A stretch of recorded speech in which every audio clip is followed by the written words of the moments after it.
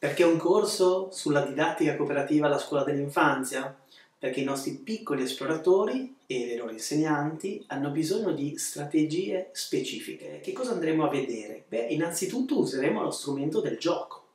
Vedremo dei giochi cooperativi per coltivare nei nostri piccoli esploratori la capacità di fidarsi l'uno dell'altro, la capacità di essere responsabili, ma anche la capacità di fare insieme, di aiutarsi, di condividere piccole soluzioni e piccole sfide cooperative.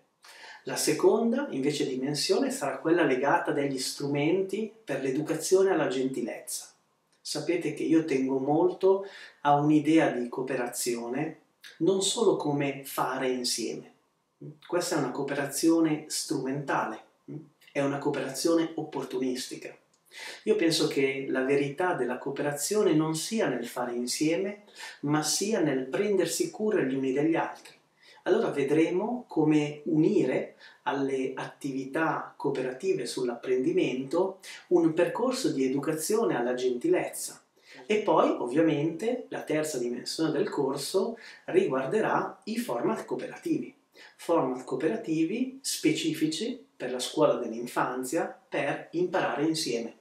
In particolare vedremo dei format in grado di coltivare negli apprendimenti della scuola dell'infanzia il pensiero logico, il pensiero sintetico, il pensiero argomentativo, coltivando ovviamente la fantasia dei bambini, ma anche le capacità comunicative.